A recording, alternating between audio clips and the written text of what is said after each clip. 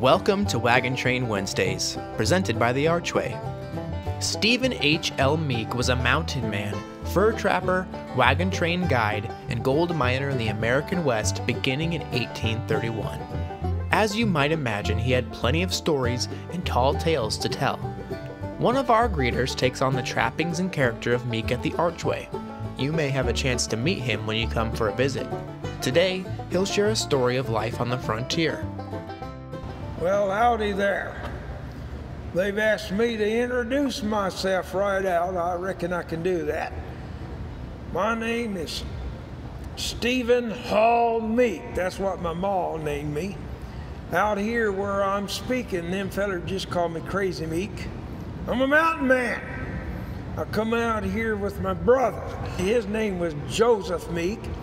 We was all out here trapping beaver back in the 1820s. That's when the tr- beaver trade was doing real good, the fur trade was.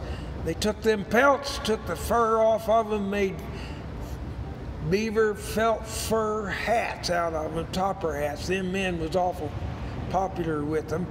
We come out here trapping in the streams.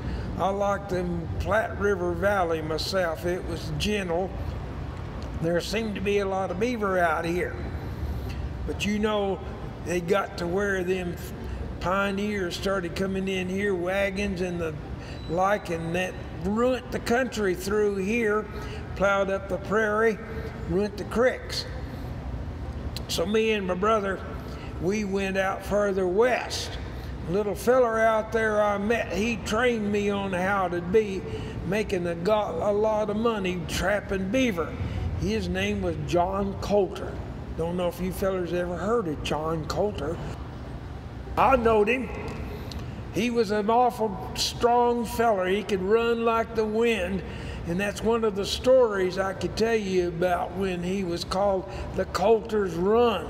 He had a hard time with them Blackfeet Injun. That's when they done him in.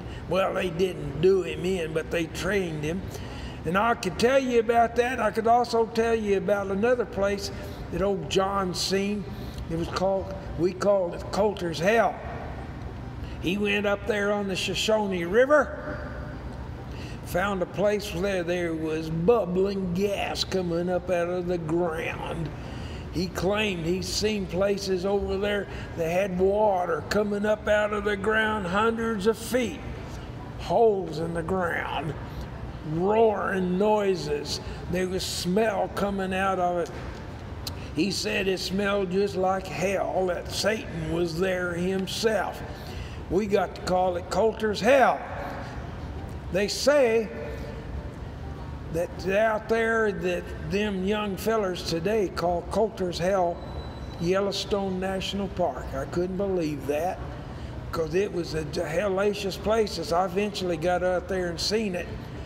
And I can tell you more about Colter's Hell here in just a moment there if you are patient with me. Tune in next week for more tales from the Archway's own mountain man, Stephen Meek. Learn more about pioneer life. Look for these books in your local library. Mountain Men, True Grit and Tall Tales by Andrew Glass, and Sitting Bull, Lakota Warrior and Defender of His People by S.D. Nelson. Be sure to follow the Archways Facebook page and check back next week for another episode of Wagon Train Wednesdays.